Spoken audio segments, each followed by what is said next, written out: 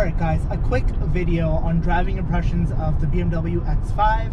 This is the third generation, and let me just show you guys real quick. When you put it in sport, put your foot down, this vehicle takes off.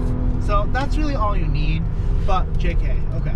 So this vehicle is very comfortable to drive, it's very luxurious.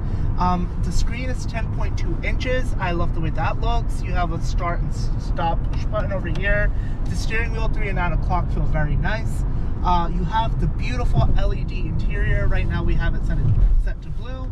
You can change that very easily by going into settings and lighting. Um, and then you can choose a light design and you have all these options. I'll show you what orange looks like as well. Uh, very attractive, very luxurious. Um, this vehicle has 300 horsepower. It's paired to an 8-speed automatic transmission. You get 18 miles per gallon in the city, 27 on the highway, 21 combined. So, you know, if you're looking for fuel efficiency, this probably is not the vehicle you would go for. But if you're looking for a very fun driving SUV that feels like a sports car, the X5 really checks off a lot on the list. And you can see right there, we have the Alfa Romeo Stelvio, that as well as a very sporty SUV. Something like the MDX or X350, in my opinion, are not as sporty. Um, they feel a bit more cloudy. This feels very planted. It's very easy to overtake in this vehicle. And you can customize this SUV, SUV's driving modes to your liking, however you want it. Um, I really like the ride height you set up high the seats are extremely comfortable. The, the materials in here are just gorgeous. Very, very, very luxurious. I love the wood grain trim in this one.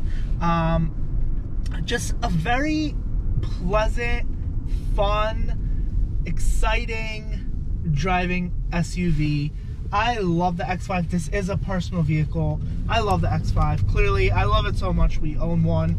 Um, my sister also owns one. And, you know, so far, maintenance-wise, it hasn't been bad, knock on, knock on wood. But obviously, when you take this thing into the shop, uh, BMW BMWs are high high maintenance. However, you also have to realize that when you maintain your BMW, you're maintaining it for a year right? If you go maintain your Toyota or Honda, it's probably going to be for six months. So when you pay that high price up front, it's going to last you a while. So just something to keep in mind. I, I love the X5. It's fun, sporty, exciting.